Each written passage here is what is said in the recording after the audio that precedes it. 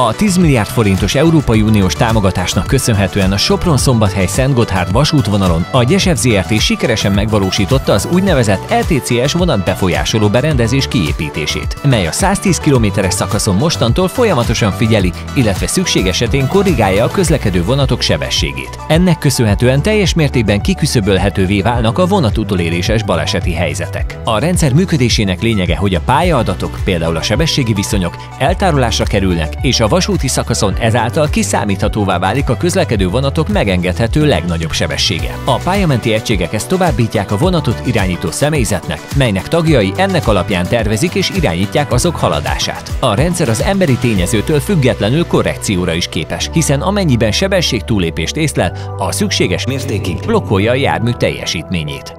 A fejlesztés további nagy előnye, hogy a pályamenti, például a közúti átjáróknál elhelyezkedő berendezések, így a sorompók jelzőlámpák hibáit is közvetíti a járműveknek. Így a végzetes kimenetelő balesetek bekövetkezésének valószínűsége minimálisra csökkenthető. Emellett az adatok begyűjtése és továbbítása kiterjed a pályamenti munkálatok pontos helyzetének rögzítésére, illetve az időjárási tényezők monitorozására is. Az új biztonsági rendszer nem csak a közlekedésben résztvevőket, de a vasúti munkálatokat végzőket is védi.